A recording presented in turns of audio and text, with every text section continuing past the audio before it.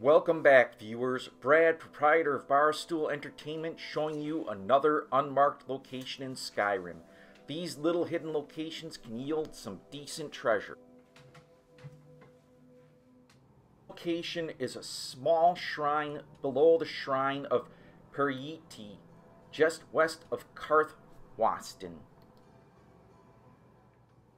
As you start climbing the mountain to get to the shrine from Karthwasten, you will be attacked by wildlife.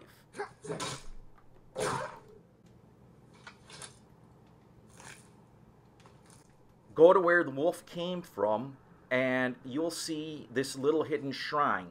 More pillar, and not sure which god or Daedra it's dedicated to. Looks like dragons.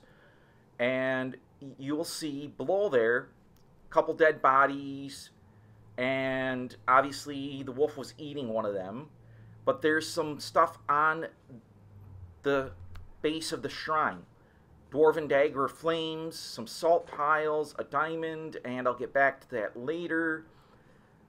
You know, this is just a little area, and take the diamond, but search the wood elf.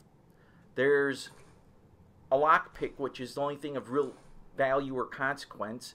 And then there's this treasure chest, which yields some gold and the incident at Necrom, which I believe raises your illusion ability. Let's see. I'll open the book, and yep, illusion is increased to 16. And you take a look around the shrine, and you notice all the little detail, the blood, the gore, that's typical of Skyrim.